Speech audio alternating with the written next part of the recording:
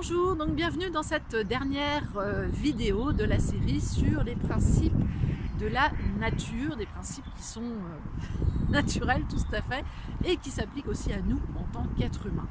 Qu'est-ce que c'est que ce dernier principe dont je voulais vous parler qui est important? Eh bien c'est cause, conséquence, tout simplement. Une action a des effets si vous voulez avoir certains effets, il va falloir poser certaines actions. Et c'est ce que je vous expliquais par rapport à mon histoire de marathonien. Euh, évidemment, si quelqu'un veut faire un marathon, il va devoir poser des actions précises. S'il est dans son canapé en train de rêver, ouais, je vais faire le marathon de New York, parce que c'est quand même un gros marathon, c'est un super truc, je vais faire le marathon de New York et qu'il reste dans son canapé, c'est pas sûr qu'il soit au top pour le marathon de New York. Ok Vous êtes d'accord avec moi? Donc les actions, eh bien, il va falloir qu'elles soient précises. Quels effets on veut, quelles actions on met en œuvre.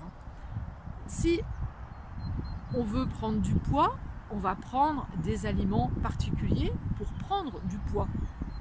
Si on a envie d'en perdre, on va avoir un autre type d'alimentation avec d'autres aliments qui vont amener à perdre du poids. D'accord Ça,